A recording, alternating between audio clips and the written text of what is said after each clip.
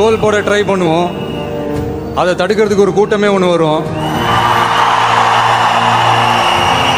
சமயத்தில் நம்ம சைடு இருக்கிறவனே சேம் சைடு கோல் போட்டுருவான்.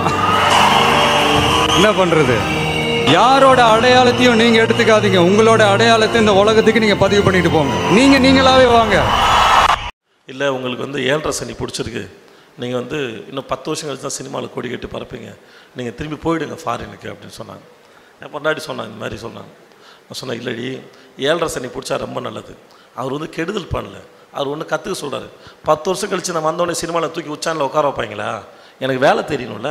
வேலையாவன் எனக்கு கற்றுக் கொடுப்பான்? இங்கே இருந்தால் தான் நான் கற்றுக்க முடியும். கரெக்ட் தானே? அப்போ நான் இங்கே இருக்கணும். அப்போ ஏழரை சனி பிடிக்க ரொம்ப நல்லது நான் இங்கேருந்து கற்றுக்கிறேன்னு சொன்னேன். இது ஏன் சொன்னேன்னா நான் கஷ்டப்பட்டு வரல கற்றுக்கிட்டு வந்தேன்னு சொல்ல வரேன். First point